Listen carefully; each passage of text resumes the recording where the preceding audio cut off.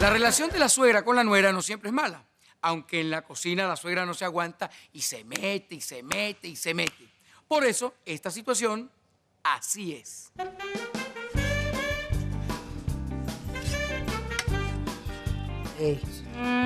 Eso se ve bueno. Y huele bien. Gracias, suegrita querida. Un momento, perdona que me meta.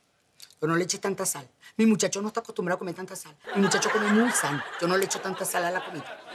Está bien, suegra, no le echo más sal. ¿Qué es eso? ¿Qué es eso? Orégano, suegrita. No, ok, no, suegrita. no. Aceitico. Sí, le voy a poner. Cuidado, cuidado, cuidado. Ya, está bien, suegrita, sí, suficiente. Suficiente. Le gustó así. ¿Qué? ¿Le voy a echar zanahoria ya? Así es. Pero si la nuera es inteligente, así debería ser. Mire, mi vida, así es como se hace esto, ¿sabes?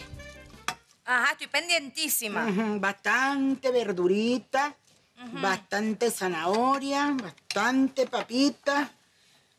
Porque así es como se cocina mejor, mija. Ay, sí, suegrita. Pero mire, haga bastante, yo, para que me alcance para toda la semana. Es que mi muchacho tiene que comer sano. Él está acostumbrado, mi amor, a comer sano, a comer sano así. Sí, suegrita. Pero mire, apúrese, sí, porque no se echa una apuradita ahí.